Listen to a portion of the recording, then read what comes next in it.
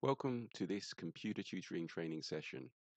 What we're just going to do is look at taking out a loan and how we can go about that.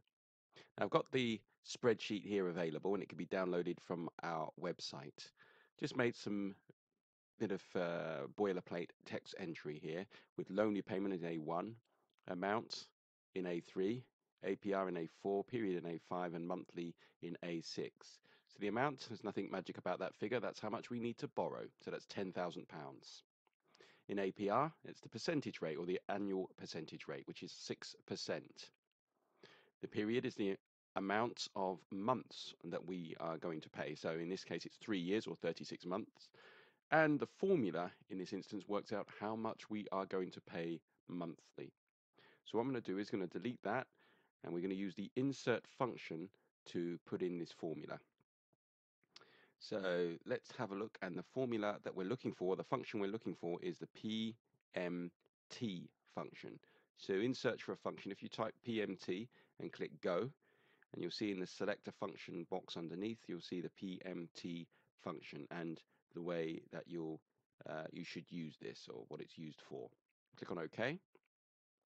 Now the rate, again at the bottom of the function arguments dialog box, it will tell us what the rate or what it's expecting for us to enter in for the rate. So in this case, it's the interest rate per period for the loan. For example, use 6% divided by 4 for quarterly payments at a 6% APR.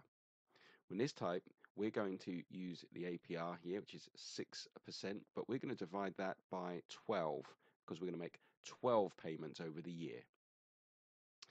Now, if we click in the N per box, which is the number of payments, that's the total number of payments for the loan, well, we're going to make 36 payments. It's going to be over three years or 36 months. So again, we click on cell reference B5 instead of manually typing in the number. Now we click into present value, and that's the total amount that a series of future payments is worth now.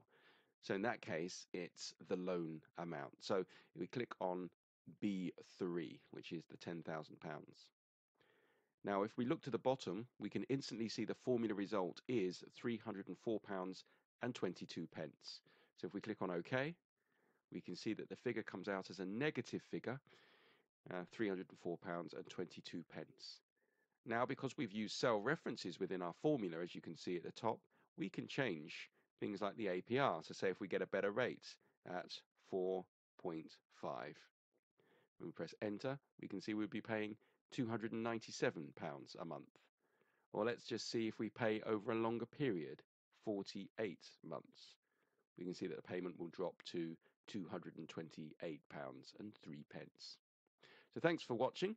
Uh, to find out for look out for more videos on the computer tutoring website. Look out for online training. Thank you very much for listening.